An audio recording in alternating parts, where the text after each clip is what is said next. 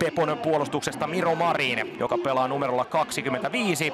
Hän näyttäisi pelaavan tuossa aivan keskimmäisenä topparina kolmenen keskuspuolustajan linjassa. Nyt on Josiakin Kikutsi ensimmäistä kertaa. Vapaana laukaus lähtee ja Jirko Sorsa pääsee aloittamaan sarjapelinsä ykkösessä tällä kaudella välittömästi hienolla torjunnalla.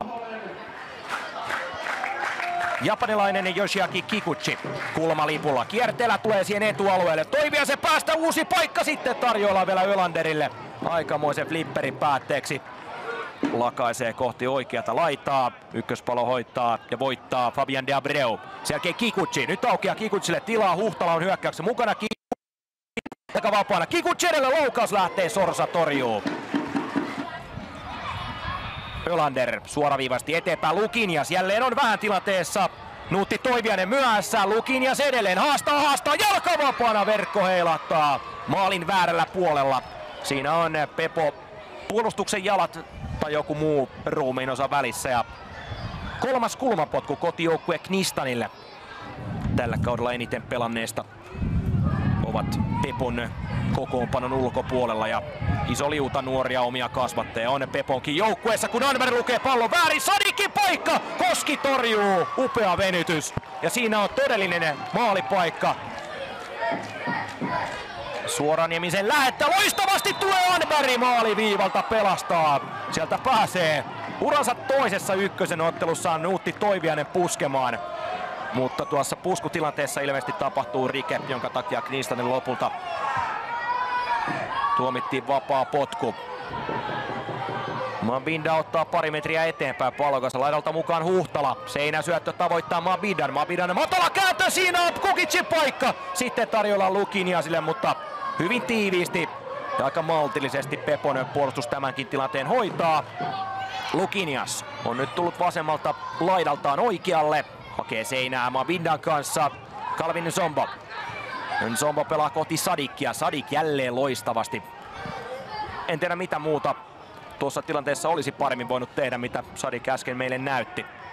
Erinomaista pallon suojaamista. Kikutsi pelaa seinää. Douglas Kaya Lukinias näyttävästi. Douglas Kaya ja Jirko Sorsa torjuu. Vielä tulee yksi paikka. Uusi paikka ja Sorsa torjuu tämänkin. Kikutsi vielä pallo kimpoille. Nyt on varma paikka. Ja Roni Huhtala puskee Kristanin 1-0 johtoon. Aikamoisen flipper-tilanteen päätteeksi. Ja Roni Huhtala iskee tämän kauden toisen maalinsa. Loistavaa hyökkäyspelaamista ja hyökkäyssommittelua nähtiin ennen kaikkea Lukiniasilta ja Douglas Kaelta. Ja lopulta Roni Huhtala on sillä takatolpilla hereillä niin sanotusti kärppänä paikalla. 1-0 Knistan johtaa. Pepon erikoistilannetta. Samu Suoraniemellä ylivoimasti eniten pelattuja otteluita ykkösessä Pepon joukkueesta. Niitä on reippaasti yli 100 kappaletta. Tänään 137 ottelu toiseksi korkeammalla sarjatasolla. Nyt tulee Knistan oikealla kautta. Avausvalitekijä Roni Huhtala. Vastassa on Calvin Sombo. Huhtala pelaa linja taakse kohti Douglas kahta. Douglas Kae ja kahteen nollaan. Nopea hyökkäys ja Douglas Kae tekee jo kauden kuudennen maalinsa. Kaikki viisi aikaisempaa maalia 34-vuotias kolmatta kautta Knistanissa pelaava brassinkärki teki 10-1 murskavoitossa Järvenpään palloseuraa vastaan. Ja nyt muutaman ottelun tauon jälkeen Douglas Kae onnistuu jälleen maalin teossa. Peräti kuusi pelaajaa, liilapaitaista pelaajaa Knistanin boksin sisällä. Suoraniemen antama kulmapotku tulee siihen matalana etualueelle. Knistan hoitaa tämän. Kikuchi Kikuchi saa pidettyä pallon itsellä linja taakse Roni Huhtala ja välttää tilanteessa Paitsion. Huhtala tekeekö ihan toisen maalinsa? Ei tee.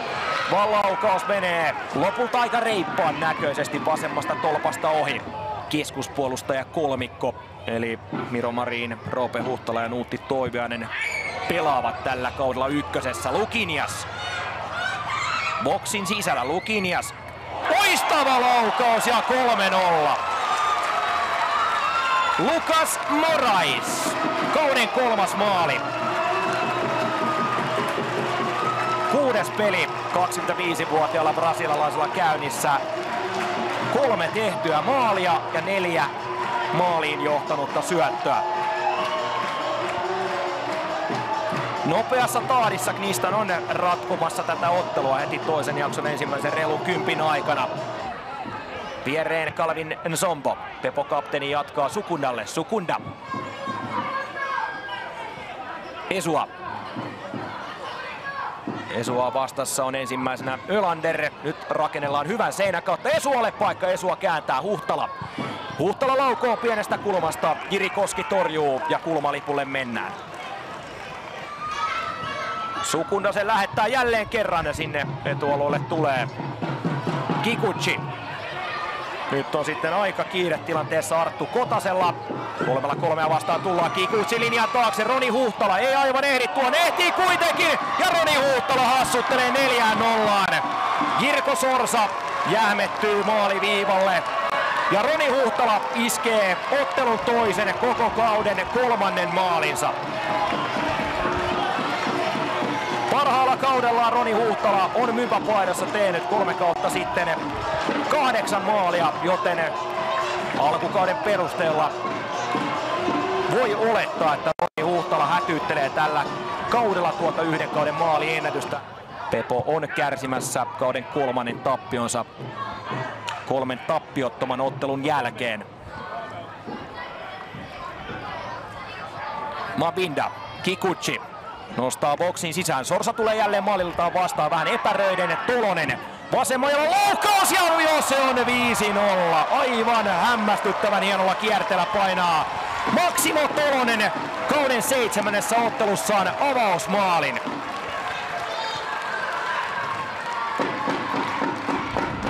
Pepo puolustuksen vaikeudet jatkuvat. Ja niin jatkuvat myös Knistonin maalien tuulettamiset. Maksimo Tolonen maalin tekijänä.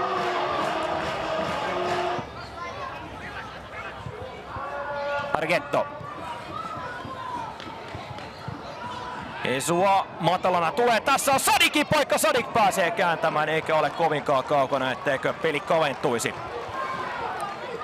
Ykkösen debyytti tuli viime kaudella yläloppusarjan viimeisessä ottelussa Elton Malokulle Tammisaaressa Ehkenen CF vastaan. On syntynyt Suomessa, mutta on kosovolaistaustainen. Knistanin A-junnuihin Elton Maloku tuli toissa kaudella Käpylän pallosta. Tässä on seuraava paikka Fabian de Abreulla, mutta ei pääse Knistan toppari ihan kunnolla Näin on tämä ottelu päättynyt. Erotuomari Joona Kontinen kajauttaa pillistään loppuvihellyksen. 5-0. Knistar voittaa sarjanousia Pepon näiden kahden seuran historian ensimmäisessä kohtaamisessa miesten ykkösessä. Knistar nousee 5-0 voitolla ykkösen kärkipaikalle.